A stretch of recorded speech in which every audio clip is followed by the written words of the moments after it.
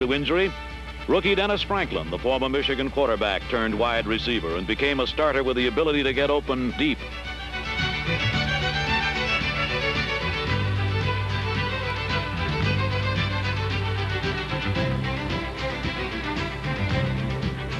Then, just when it appeared Franklin might really help the Lions, his season ended.